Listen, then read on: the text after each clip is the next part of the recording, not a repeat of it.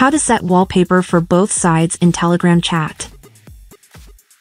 Telegram has a new feature that allows users to change the wallpaper for both sides in a chat. I will show you how to use it. Open the Telegram application. Access the chat in which you want to change the wallpaper. Click on the three dots in the upper right corner. In the drop-down menu, select the option Change Wallpaper.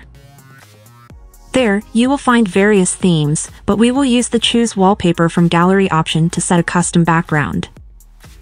Select a photo from your phone gallery. After that, you can further edit the background. There are two options for this. The blurred option will blur the background.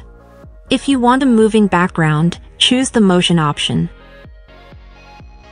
I will initially set the wallpaper only for myself by clicking on Apply for me. After a few seconds, the background is changed. It's important to note that this feature on Telegram is available only to Telegram Premium users. But I will show you how to set wallpaper without Telegram Premium. Now, I will show you how it looks for the other chat member. Click on View Wallpaper and you can see how the background looks. You can adjust the brightness by moving left or right on the dimming option. To set it, click on Apply for me, and we have just set the same background as the other chat member.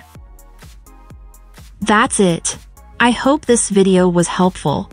Like this video if you enjoyed it and subscribe for more tutorials.